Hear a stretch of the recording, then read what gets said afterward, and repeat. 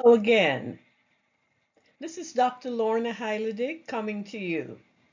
Today, I want to talk a little bit about incorporating prebiotics and probiotics into the diet. By doing so, there are numerous health benefits that can be achieved. Among these are a strengthened immune system. A first line of our immune defense is within the intestinal tract. Therefore, the response of the immune system to pathogens can be enhanced by the consumption of prebiotics and probiotics, which help generally to promote a healthy microbiota.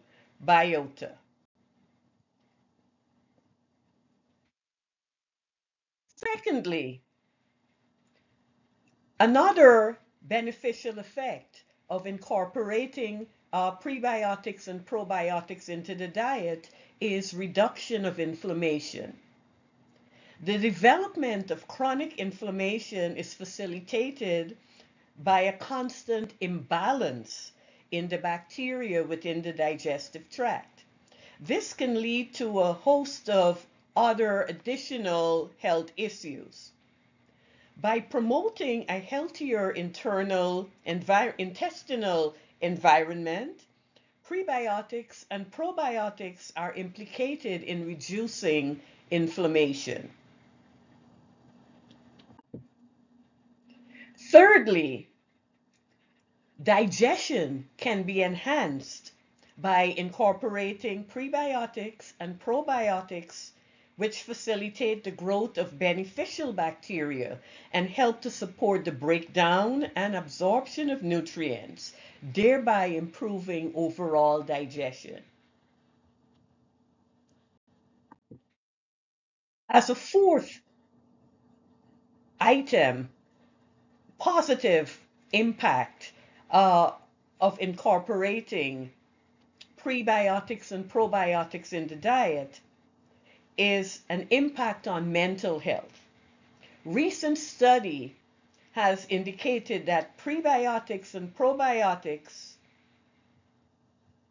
through the gut-brain axis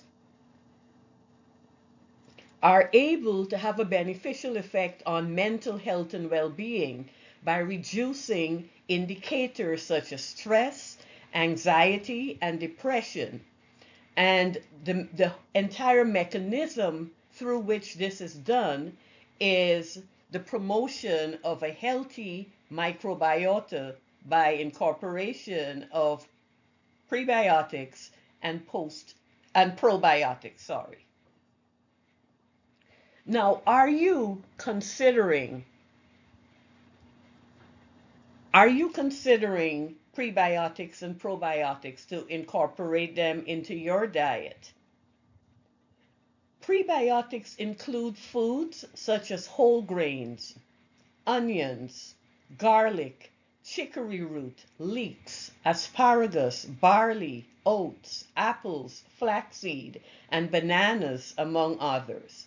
Probiotics are life microbes that are found in fermented foods such as yogurt, sauerkraut, kimchi, miso, kombucha, and kefir, among others. So it's actually a good thing to incorporate these foods.